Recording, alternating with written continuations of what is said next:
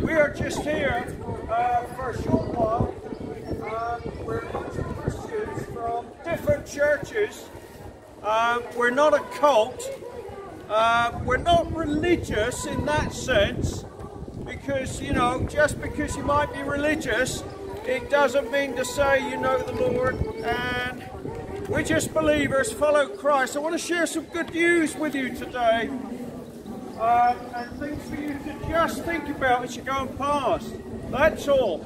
We're here, there's free literature there. If you want to take it, um, free books. Uh, you can ask any of us any questions. We don't know everything, but we know enough. And if you want prayer for anything, please come up and speak to us. We're here uh, with you all. Um, I lived, lived in uh, Northampton for 30 years, so I would treat you like my neighbour. Uh, I love you like my neighbour. And I can say that because I understand what it is to live, how tough life is, uh, the issues that happen. This is the best news you're ever going to hear. Uh, and it is what's called the gospel. There is only one gospel, one Lord, one baptism, one Holy Spirit. So I just want to explain something there. And we talk about religion. I just want to share with you some, something you may know and you may not. If you're, you, you may not know this, even if you're a Catholic. Um, and I love Catholics. Um, I want to share something with you. Um, I want to ask you a question first. Do you think you're a good person? Then I want to go to Mary. You've heard of Mary. Uh, Mary, who was the blessed one, who actually uh, carried the Lord Himself, the Creator of the earth, fully man, fully God. Um, she was blessed. A lot of uh, a lot of people put her up on this thing, uh, but let me share something with you.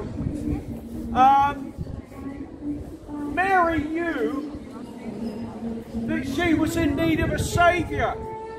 This is Mary, the mother of Jesus. Mary knew she was a sinner. How about that? I'm a sinner that's saved. And Mary said, this is Mary saying it, my soul exalts the Lord, and my spirit has begun to rejoice in God my Saviour. Because he has looked upon the humble state of his servant, for from now on all generations will call me blessed, because he who is mighty has done great things for me, and holy is his name. Now for Mary, who was a chosen woman, Mary realized she needed a saviour, and she also realised she was a sinner, like, like us. And that is true to Scripture. Scripture says there is no good, no, not one. I want to ask you that question again. Do you think you're a good person? The Bible says that God cannot lie, Titus. Ask yourself this. If Mary knew she needed a Saviour, I'm not a Catholic, I'm a Christian, but if Mary knew she needed a Saviour, she knew she was a sinner, like me, like us, ask yourself, now we know if we drive on the road, there are laws, we're given the laws by the government, and if we know those laws, they tell us not to speed over 30 miles an hour in a built up area. If we do 50, we could get stopped, fined, and points on your license. That's the law. Now, God gave a moral law. It's called the Ten Commandments. I wonder if you know any of them or can remember some of them. But I want to ask you this question again. Do you think you're a good person? See, when we compare ourselves with our family or our friends or our neighbours, we might come off better. We might say, actually, I have done this too. We might come off better and say, actually, I'm better than my neighbour or I'm better than my friend who I've known for years because I don't do that, what he does. And we compare ourselves with each other. But you see, when we compare ourselves with a holy and righteous God, it's a different story. It's like if you go out to the fields, there was a story one winter, there were sheep up on the hill, and this girl looked at the sheep, and against the green background, they looked pure and white, and with their lamb's wool, they looked wonderful. They looked uh, clean and everything. Then it snowed, pure white snow, it snowed and fell on the hill, and she looked again up on the hillside, and those sheep that were there that once looked purely white, they looked filthy against the white background of the pure snow. And that's like us, that's like me. I'm the same as you. If I compare myself with other people, I might be better than them, I might be worse than them. But when I compare myself with God, I am filthy rags. As Isaiah said, six, seven hundred years before Christ was crucified, Isaiah the prophet said he was like filthy rags compared to God. So when I ask you these questions, you think for yourself, I'm not judging you, I have no right to judge you. You think for yourself judge yourself. Let me ask you, how many, I'm just going to cover a couple of those things in the moral law. How many lies have you told in your life? 10, 20, 40,000? Too many you can't remember? How many lies? Ask yourself this. How many lies have you told? What do you call someone who tells lies? A liar, sir. Let me ask you another one from the moral law. Have you ever taken anything that did not belong to you, even if it was a pencil from school? You know, when I was a young lad, I used to go into the local sweet shop and I would fill my pockets up off the shelves with toffees. Then I'd go and share them out with my friends. I thought I was doing all right, till I was told that was wrong and I felt the guilt. I, I, I felt I, I was thieving. what do you call someone who takes things that don't belong to them? A thief, sir. That's right.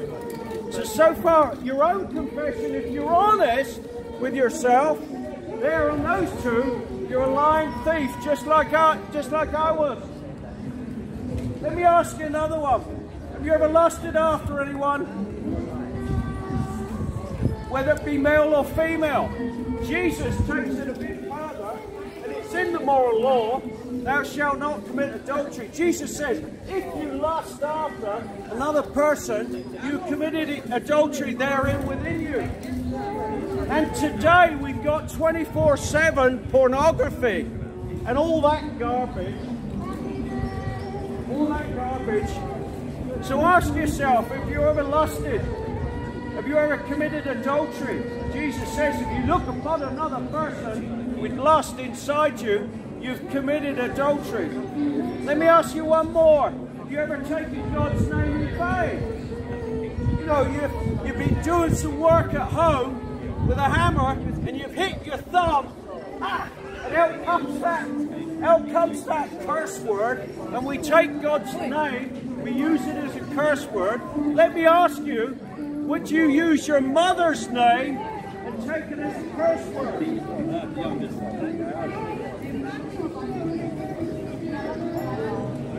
You wouldn't, sir, would you? No. My mother's passed on, but I would not take her name and use it as a curse word because I love her. You love your mother, so you wouldn't use your mum's name as a curse word. But the very God that gave us breath, eyes and ears, and life and love and all these emotions and families and children, we curse him and and yet we wouldn't be here without him. And you say, oh, I don't believe there is a God.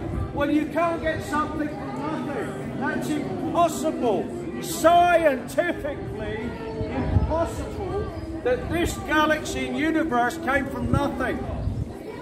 You think about that one. So listen, if there is a God and you stand before him on your day, I've only covered four of the moral law, not all of them. Take my name in vain. He says, those who do shall not go unpunished. He said, thou shalt not steal, thou shalt not commit adultery, and thou shalt not give false witness. So there we've broken four of them already. When you stand before him on your day, will you be innocent or guilty? If you're honest.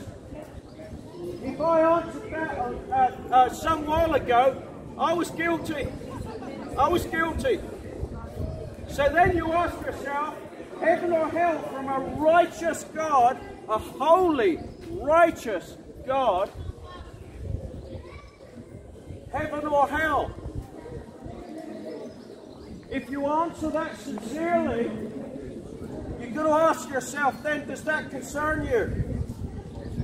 You see, God has given us a, uh, a conscience. Every one of us, 8 billion people on this earth, had in Jeremiah, which was 2,648 years ago, Jeremiah said, but I will make a new covenant with the whole nation of Israel. After I plant them back in the land, says the Lord, I will put my law within them and write it on their hearts and minds. I will be their God, they will be my people. So that means that God has written his law on, missed that one, on our hearts and minds. Now, 2,000 and more years later, in Romans, Paul was writing to the Romans, and he says, In that they show the work of the law written in their hearts, their conscience bearing witness, and their thoughts alternatively, alternately accusing or else defending them. So, there you have it. Uh, nearly 3,000 years ago, prophet saying God's going to give us a conscience going to write on our hearts and minds the law, the moral law. And now Paul writes in Romans that your conscience is bearing witness and your thoughts alternately accusing or defending yourself. That is why we know when we do things wrong, some of the time we know they're wrong. Conscience accusing us or defending us. We know it's instinctively that it is wrong to rape a five-year-old child.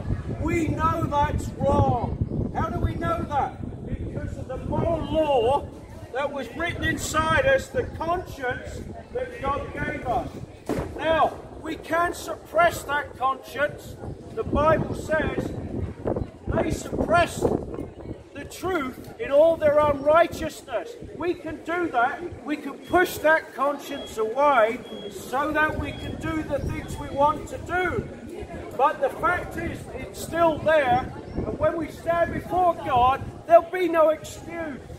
Oh, God, He's so wise. He's so wise and loving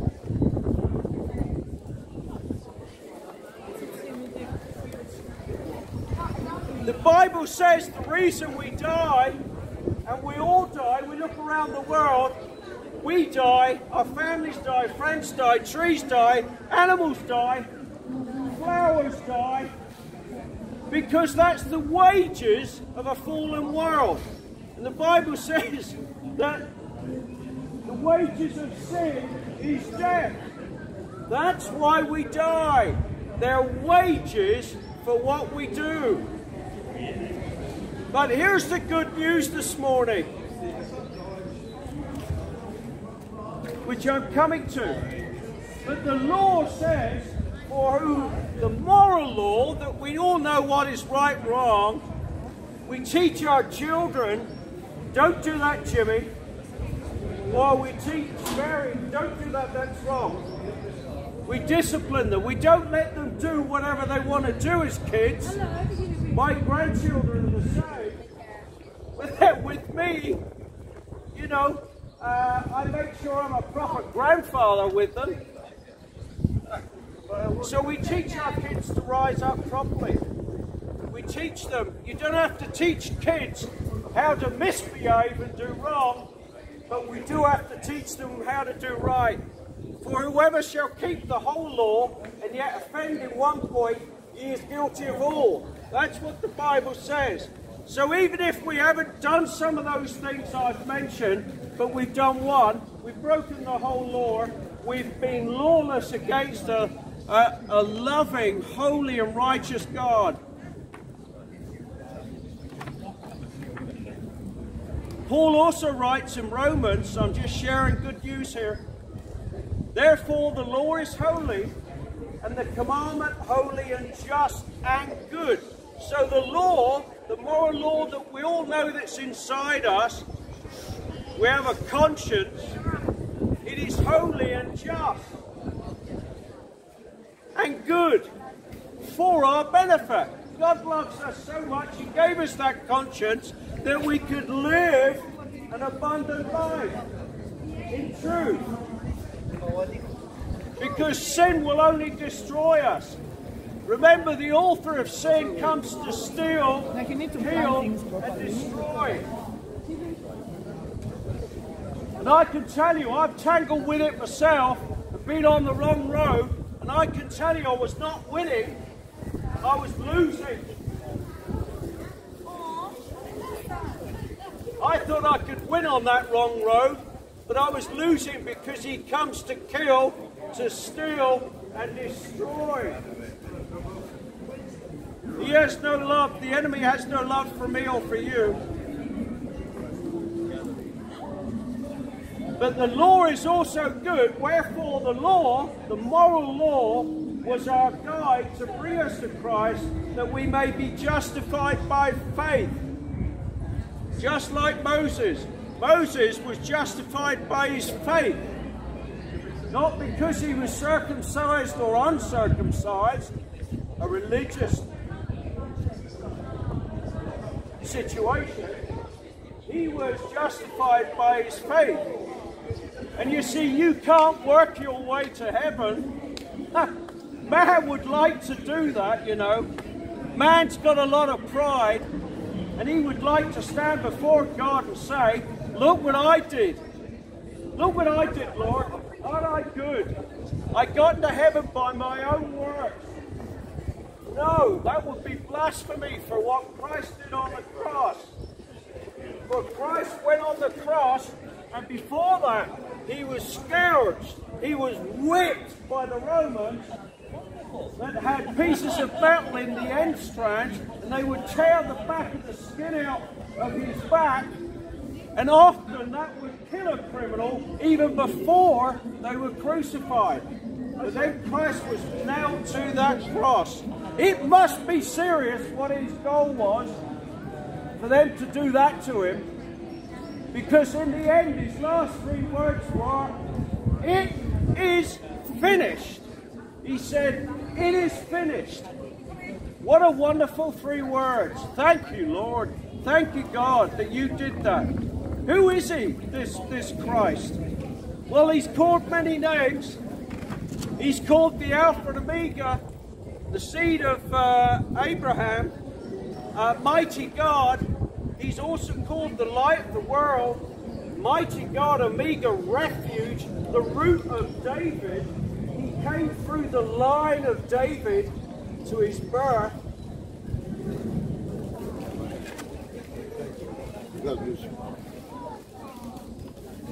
He's also called the bridegroom. Jesus is called the bridegroom. If he's the bridegroom, there must be a bride.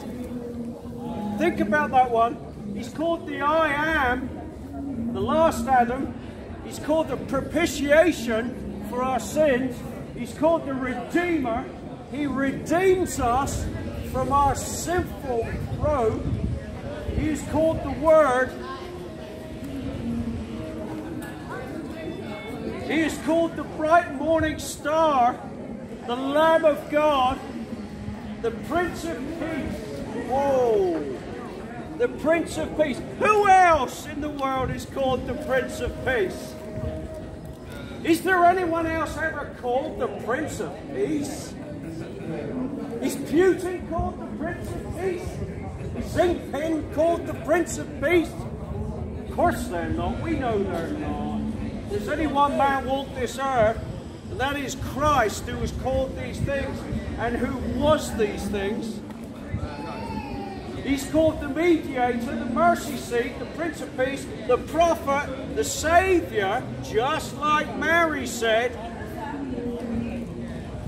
My God, my Saviour. Mary knew she needed a Saviour, and yet God blessed her with her carrying the baby Jesus. How's that amazing? Called the advocate. He's called the bread of life. The bread of life. That means we feed on him. If he's the, these are bold statements. These are bold statements. You either have to be this person to back it up, or you're just a delusional religious man. One of those two things. You have to ask yourself, which was Jesus Christ. He's called the Comforter. Called the, oh, I need that, the Comforter, the Deliverer, the first and last, and he's also called God. Mary knew that. Bless Mary. I don't worship Mary, I worship Christ. But Mary knew that. She knew she needed a Savior. She knew she was a sinner.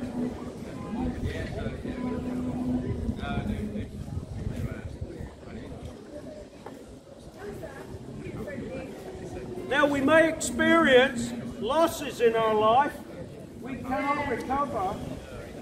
We may face pains that are awful.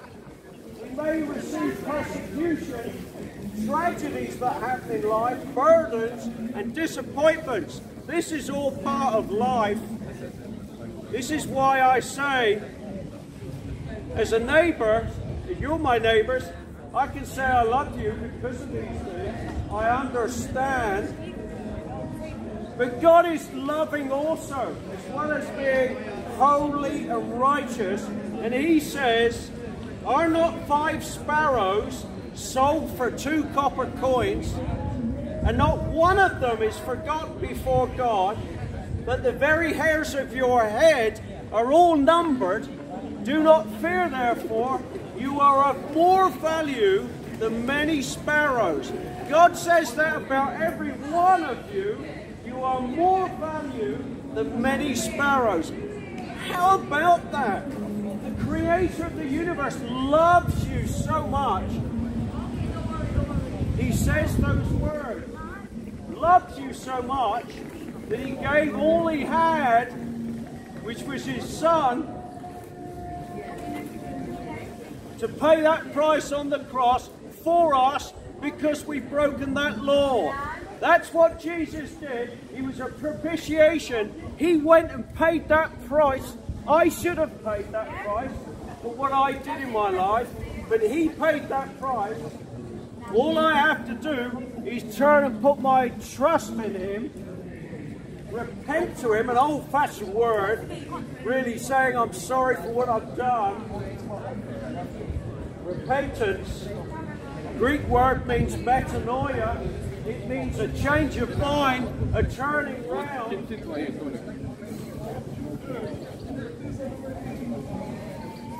When you put your trust in him, just like we trust our family and our husbands and wives and friends and our bosses, he will give us peace. He will give us reconciliation with God. Will give us hope. Victory over trouble. He will love us like he has always done. He will give us the Holy Spirit to teach us all these things. There's only one He will give us deliverance from his wrath. God says in his word, that the wrath of God all those sinners who turn away and shut that door on him because he's given his all. Jesus says, It is finished on the cross. Did everything. There'll be no excuse on that day. So, gives us deliverance from wrath, from God's justice that we should have. And He'll give us joy of knowing Him, of walking with Him, of Him teaching us, loving us, leading us. That's my good news message today. I know where you're coming from. If you're honest, ask yourself these questions. Come back to that one question. Do you think you're a good person? Even Mary recognized she was a sinner and she needed a Savior. And Mary is a blessed woman in the Bible. I'm not Catholic, I don't worship her. I worship Christ. But Mary recognized my soul exalts the Lord. So thank you for listening, Northampton, and have a good day.